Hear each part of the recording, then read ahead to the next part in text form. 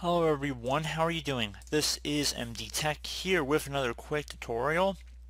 In today's tutorial, I'm going to show you guys how to hopefully resolve if you're coming across a fail to enumerate objects in the container error on your Windows computer, perhaps if you're trying to access a file or folder. So it should hopefully be a pretty straightforward process here guys, and without further ado, let's go ahead and jump right into it. So we're going to first start by right clicking on whatever folder we're having the problem with, and then you want to select Properties, Go ahead and left click on the Security tab, and now you want to select Advanced near the bottom of this window. Should be a Change button right here. Go ahead and left click on that. Now you want to enter in your user account name, so just to the best of your ability, just type it in here, and then select Check Names, so it should actually get it to exactly what it should be. So once you've entered that in, you want to go ahead and just left click on OK.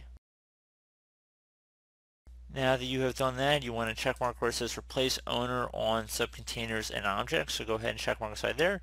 And also check mark where it says replace all child object permission entries with inheritable permission entries from this object. Select OK.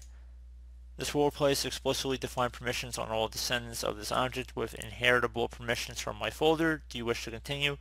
The folder will be different in your case. On my folder is actually named my folder, so we're going to go ahead and select yes. Now select OK.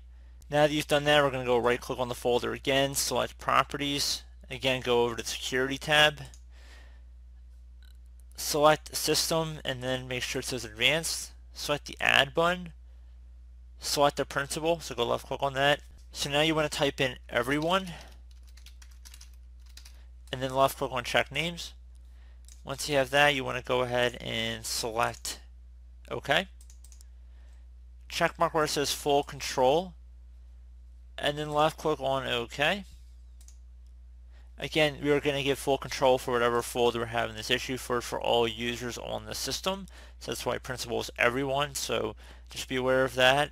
And once you're done with that, you want to go ahead and select apply and OK. Select OK again. And once you're done with that, you should be able to close out of here, restart your computer, do whatever you want basically, and that should be about it. So as always, thank you guys for watching this brief tutorial. I was able to help you out, and I do look forward to catching you all in the next tutorial. Goodbye.